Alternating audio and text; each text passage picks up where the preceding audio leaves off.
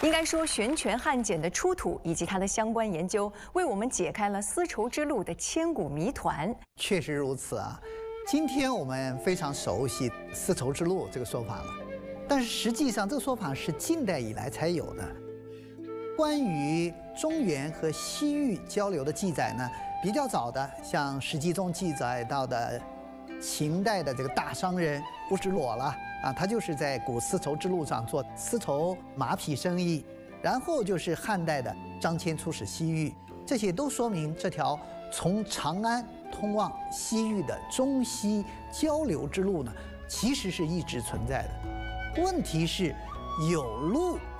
有商旅往来，就肯定得有驿站呀，没错，对吧？但是大漠中一直没有找到有关驿站的考古发现，也就是说这条路是怎么走的，口说无凭。直到悬泉志遗址的发现，让丝绸之路的这个样貌鲜活生动起来。对，悬泉志里头出了一枚里程简，记载了从武威到敦煌沿途经过的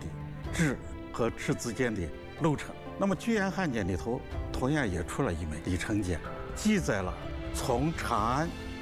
到张掖沿途经过的至和赤之间的路程，我们把它结合在一起看呢，它可以互相补充，让我们完整的了解从敦煌向西的行驶路线。这个在《玄泉汉简》里头呢记载很多，这个路线就证明了丝绸之路啊是真实存在的。这个为二零一四年中国、哈萨克斯坦、吉尔吉斯斯坦三国呢丝绸之路生意